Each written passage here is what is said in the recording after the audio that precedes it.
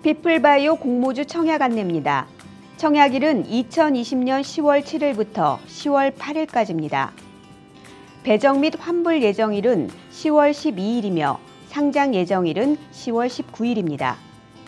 공모 예정가는 2만 원으로 청약 증거금은 50%입니다. 공모 주식수는 총 50만 주로 일반 공모 주식수는 10만 주입니다. 일반 공액 청약 한도수는 6천 주이며 우대 고객 한도 수량은 9천 주입니다. 우대 고객 기준 안내입니다. 청약 신청 시작일 직전 1개월 기준으로 금융상품 평균 잔액 2천만 원 이상인 고객으로 일반 청약 한도의 150%입니다. 청약 방법과 시간입니다. HTS 또는 MTS로 청약을 하시거나 영업부를 방문하시면 됩니다. 청약 시간은 온라인과 ARS는 오전 8시부터 오후 4시까지, 영업부는 오전 8시부터 오후 4시까지입니다. 키움증권 HTS 또는 MTS에서 온라인 업무 청약 메뉴를 확인하시기 바랍니다. 피플바이오 공모 주식을 받기 위한 예시입니다.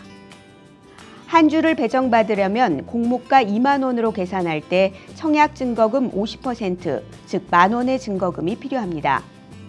공모주는 신청한 주식수에 비례하여 배정을 받는 방식으로 청약 경쟁률이 100대 1일 경우 100만 원을 증거금으로 납입해야 한 주가 배정 가능하며 경쟁률이 1000대 1이라면 1000만 원을 납입해야 한 주가 배정됩니다.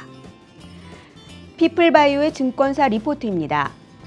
상상인증권에서는 8월 18일자로 알츠하이머병 진단키트 상품화 엣지 있는 바이오 기업이라는 리포트를 흥국증권에서는 8월 28일자로 알츠하이머병의 혈액 기반 진단이라는 리포트를 제시했습니다.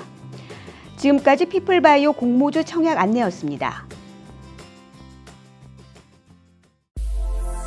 키움증권 유튜브를 구독하시면 공모주 청약과 관련한 다양한 정보를 안내받으실 수 있습니다.